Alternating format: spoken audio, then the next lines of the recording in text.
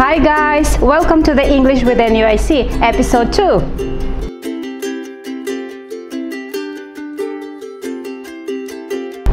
My name is teacher Anna and I'm from tourism major and you will learn with me today a basic Russian words when you can use with your friends because I am from Russia.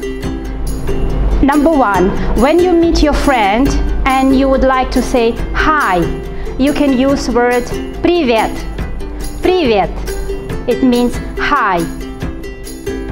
And number two, if you want to ask your friend, how are you?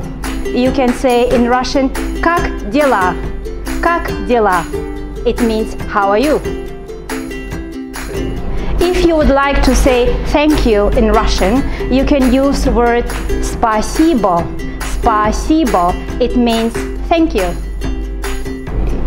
And number four, if you would like to say goodbye to your friend, you can use a word пока. Пока. It means goodbye. So today we learn four basic Russian words which you can use in a basic conversation. Number one is hi, which you can say привет. Number two, how are you? It means как дела?